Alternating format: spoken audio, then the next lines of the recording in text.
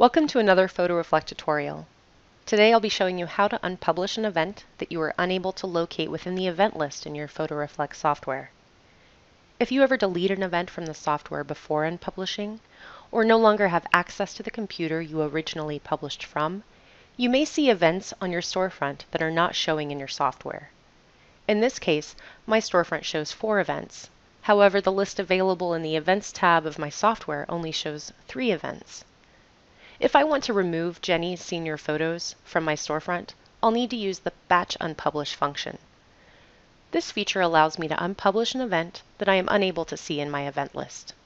To access this feature, locate the book icon in the top left corner of your Events tab and select to reveal the drop-down menu.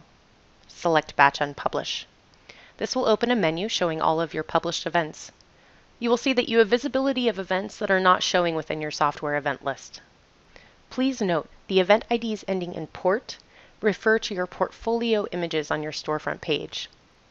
Once the events you wish to unpublish are selected, complete the process by selecting the Unpublish Event option within the pop-up. And that's it. Once unpublished, the event will be removed from your storefront. If you have additional questions about using PhotoReflect in your business, we are here to help. Email us at support at photoreflect.com.